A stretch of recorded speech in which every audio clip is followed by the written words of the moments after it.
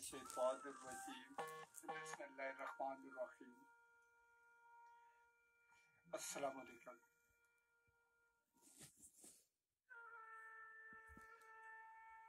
آج گازہ جل رہا ہے۔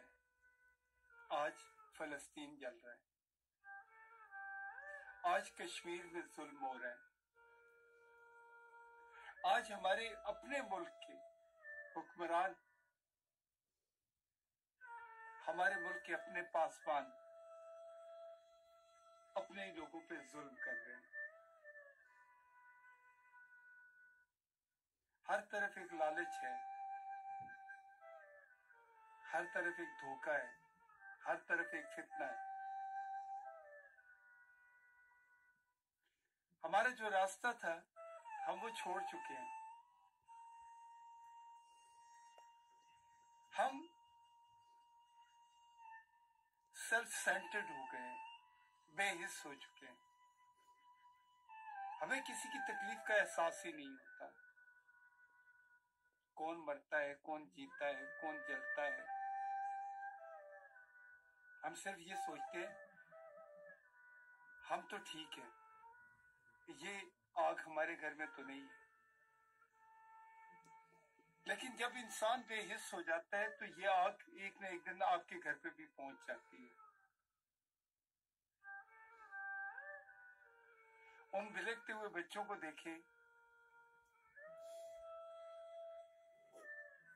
جن کے اوپر درندے آگ برسا رہے ہیں۔ گھر ٹوٹ چکے ہیں۔ کوئی سہارا نہیں ہے۔ ارد گرد رہنے والے جتنے بھی مسلمان ملک ہیں انہوں نے ہاتھ اٹھا لیا ہے۔ کانفرنسیں کرتے ہیں۔ بڑے بڑے دعوے کرتے ہیں۔ لیکن کوئی بھی آگے بڑھ کے ان کا ہاتھ نہیں تھامتا۔ اور ان ظالموں کا ہاتھ بھی نہیں روکتا۔ یہ دنیا کے اندر جو بڑے بڑے پلیٹ فارم بنے ہوئے ہیں، اقوام متحدہ کے ہیومن رائٹس کے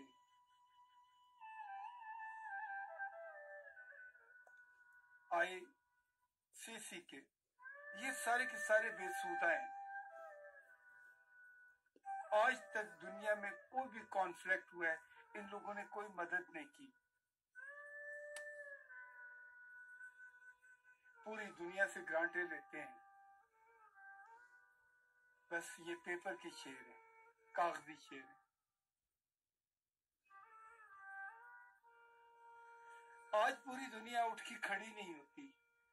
اس ظلم و فستائیت کے اس بازار کو ختم نہیں کرتی۔ ان لوگوں کا ہاتھ نہیں روکتی جنہوں نے ظلم کیے ہوئے کل ہم اپنے خدا کے سامنے کیا جواب دیں گے؟ کہ ظلم ہمارے سامنے ہوتا رہا، بچوں کو ہمارے سامنے مارا جاتا رہا، بہنوں اور ماؤں کے ساتھ جو ظلم ہوئے لیکن یہ عدالت ضرور ایک نہ ایک دن لگے گی اس دن اللہ تعالی ہم سے بھی پوچھیں گے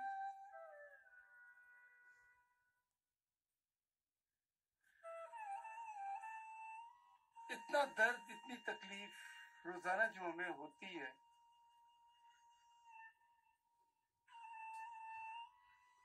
ہمیں سمجھ نہیں آتا۔ اب بھی وقت ہے۔ یہ رمضان کا مہینہ ہے۔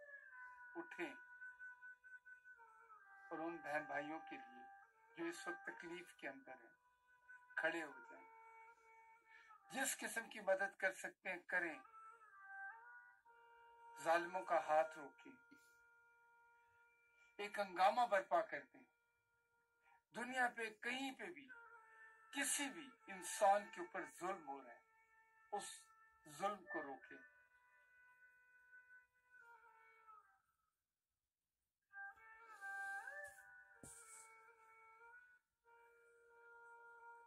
سوچیں۔